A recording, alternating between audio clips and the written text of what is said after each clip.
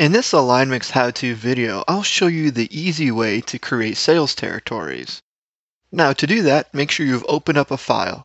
In this example, I'm showing you what a existing territory design looks like and how to edit it. So now select the Touch Align tool and now zoom into an area. So let's say this Territory 204 actually encompasses all of Wyoming.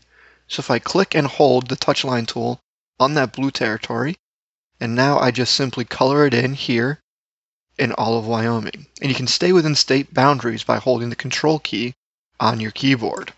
And just like that. So there you go. You've just learned how to edit your sales territories using the Touch Align tool.